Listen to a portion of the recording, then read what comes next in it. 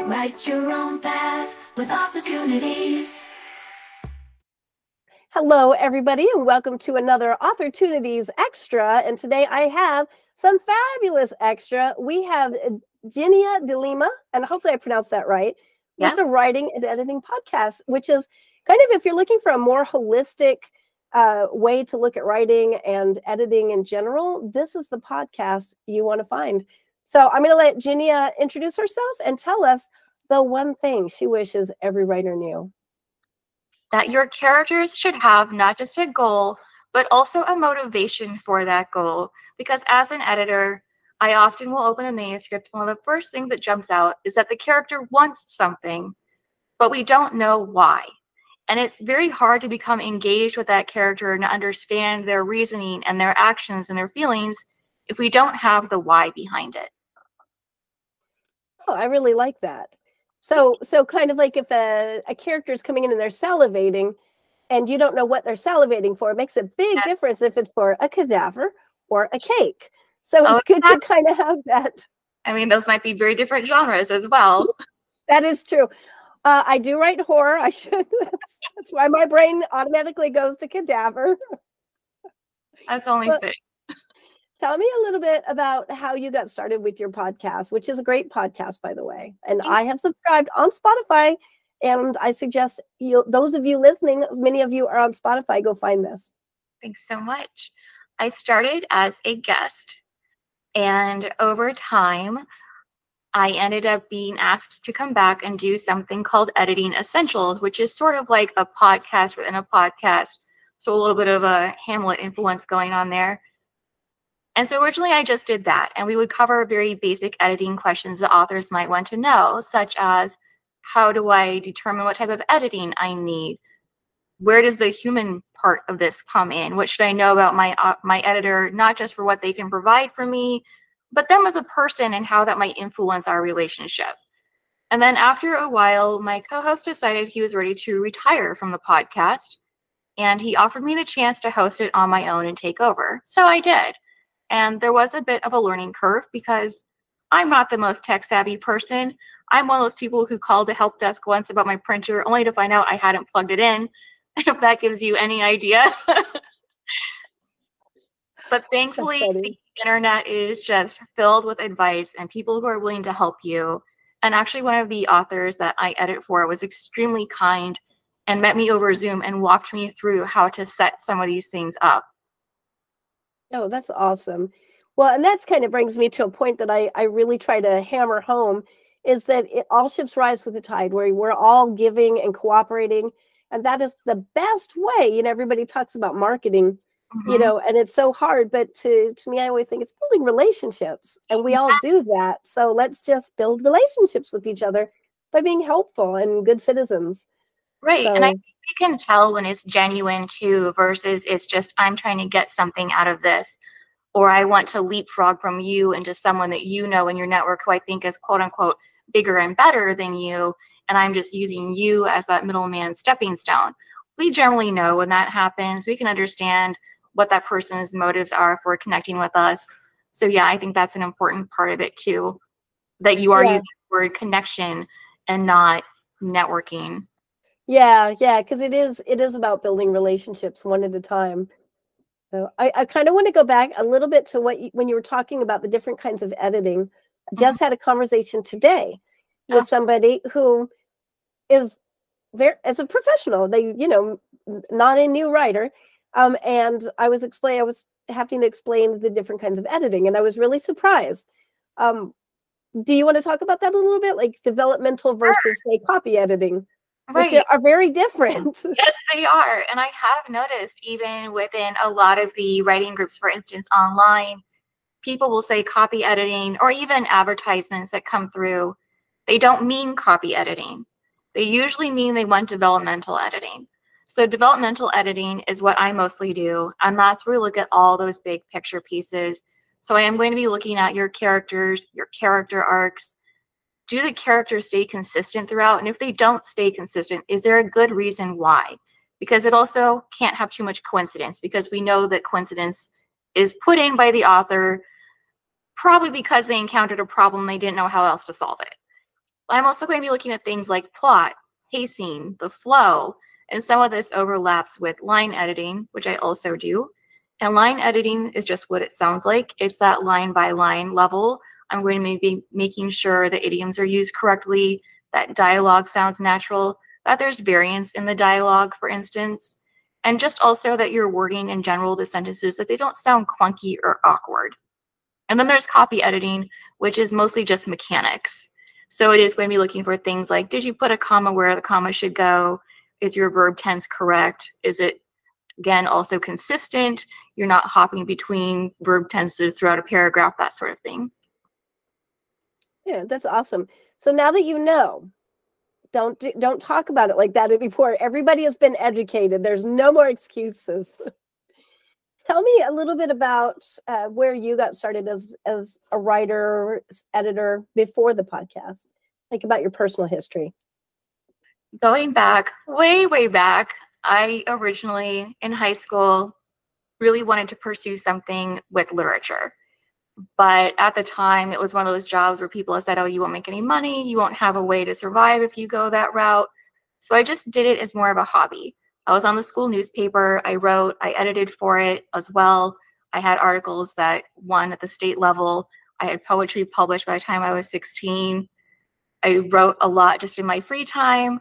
And then I went to college and some of that just kind of drifted away, but I was mostly into the academic world and everything that came with it. So then I was still doing a lot of writing and editing, but it shifted gears.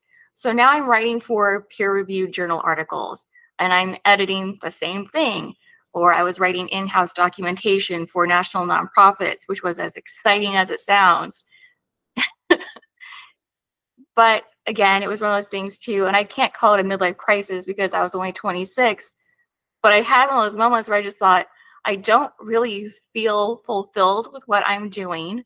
And so I started pursuing opportunities that were also adjacent to writing and editing. So, as an example, since my master's is in applied developmental psychology, I read a few hundred books and wrote the questions for the accelerated reader test that they give out for children. And so I did that just as a little side thing for a while people started giving me their work and it started off with a lot of college essays from students, for instance. Can you edit my paper for me? Can you help me through this? And then that turned into people who were doing creative writing. And then from there, I became, I don't want to say a professional beta reader, but pretty much that's what I did for a couple of years. And then I was given a position or offered a position by a small press. And then after that, I just kind of went from there. That's awesome. Thank what you. A good, a good path to do that too. A very solid, you know what I mean? Very methodical and purposeful path. Even though in the beginning, I will say it's it's it is one of my gripes when people are like, well, you can't make money in that, so don't don't do it. I've heard that so many times. I was told that. Um, yeah. and I've been a professional writer my entire life. It was nonfiction, but hey, writing is writing. Exactly. Uh, so yeah, that really bothers me that that is such a, a message that we which kind of becomes self self-fulfilling then. Exactly and i completely agree with you. We're setting people up with this belief that you can't sustain your livelihood by doing something that you enjoy. So then what's the trade-off? Are you going to have a comfortable lifestyle but be miserable and dread eight hours of every single day? That doesn't really sound that appealing to me. Yeah and yet it's so common. Right and then we also almost have these judgments where we're placing certain professions on a different level than others instead of viewing them as contributing equally to society. Because also think too, like how much enjoyment are you giving people with your writing?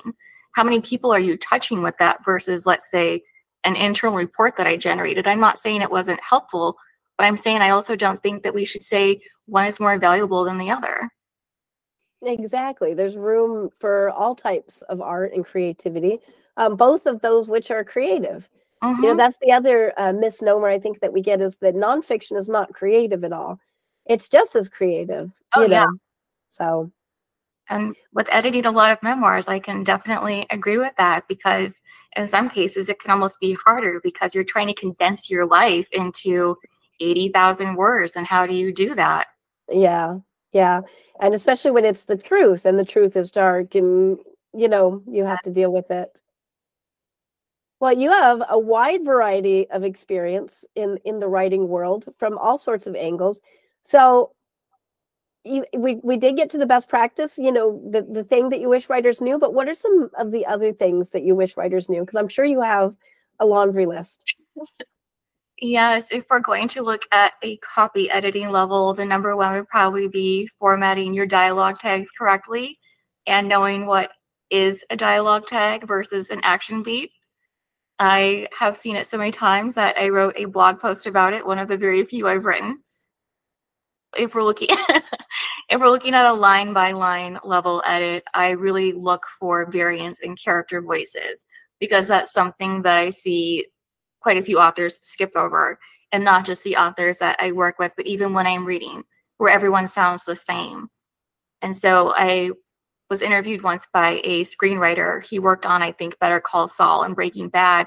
And he was saying that when they're sitting around in the writer's room, they have to black out the names and people have to be able to pick up who is speaking without being able to see the names. And I feel like that's something that we should also tr- bring over to fictional writing. And so when we're picking up a book, it should be that same thing. I shouldn't have to go back and look over and see, wait, whose POV are we in again? Who is it speaking?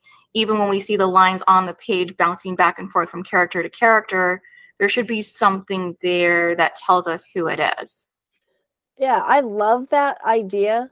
I'm I'm going to try that because you're right. It should be they just by their actions and their tone, you should know who's speaking, not necessarily, comma she said. You know, right? Yeah, That's just awesome. their, their word choice, their sentence mm-hmm. structures is someone maybe a little more blunt, what kinds of words they use. Mm-hmm. And then if we want to take that and apply that to a developmental level of editing, but bringing it over to a line level of editing, think about your character's background and who they are, because that's going to be filtered through our speech. We see that even with the people we know in our real lives, that the way they phrase things, the way that they talk to someone versus, let's even say, the way they talk to their child versus the way they talk to their neighbor or coworker, but we're still going to always know it is them. That speech mm-hmm. is still identifiable as theirs. And that's something that we should see translated on the page as well. Yeah, I like that you also point out that we speak differently to different people. We all have our polite work speech, we have our hanging out with the friends with a beer speech. So it's all, but but it is always the same person. Same uh, same mannerisms. And since you are a horror author, just made me think of this, even something that we see a lot with true crime, and they're able to pick out maybe this person is a, spe- a suspect when they're looking at the letters that are received, the threats, and they're able to say, hey, John always spelled this word wrong, and the person writing this letter also spells this word wrong consistently, or John always phrases it like this, and so does this guy in the letter. So it's just there's a real life example of how yeah. it worked out. But yes. That's awesome. Yeah, that's so there's your your very good advice, best practices. You know about editing you now, and you have some really good ideas for best practices. I love the blacking the names out though. That's fantastic to test yourself.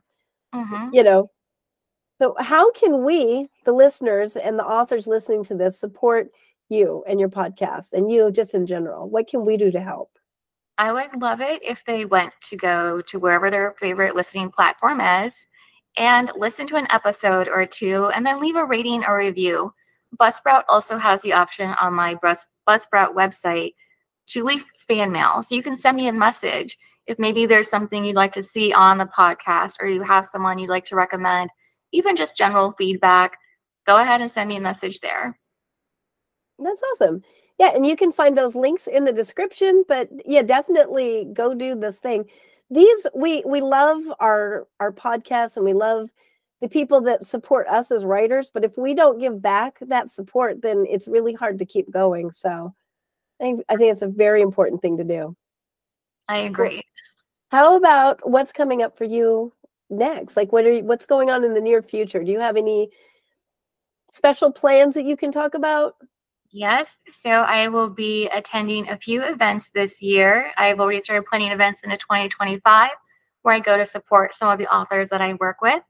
I will be at Fright Reads in Maryland leading a panel on vampires and why we find them so delectable, but also why they find us so delectable. And I will also be at Getting Witchy with It in Salem, Massachusetts. And oh. then looking farther out, I'll be at Imaginarium in June in DC. Oh, I'm so jealous. I, I really want to attend all of those. So, well, how how I know we just talked about your links. Can you spell it out for the people who will not be able to see the links at the bottom of this? It doesn't always translate. Where is the best place for us to connect with you?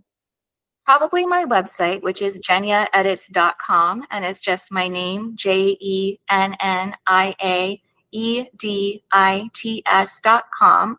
And I have links to my social media accounts there and also links to the podcast website. Awesome. Awesome. Well, you heard it here. Go ahead and go support Jennia D'Lima. Go listen to Writing and Editing podcast if you want a nice, holistic, full 360 view of editing and writing. Um, she has a lot of great information and a lot of great experience, as you just heard. And that is my little bit of extra for this week. Thank you, everyone, for listening in on whatever platform you're listening from. If you enjoyed this, please give me a like and a follow. For authors that need more submitting and less searching, get both with Authortunities, a weekly calendar of author opportunities organized by date and emoji at authortunities.substack.com. And I will talk to you next week. Grab some paper, grab your pen, open opportunities, and you can begin. When you exercise your rights and get published, you may change. Write your own path both wonderful and strange with opportunities.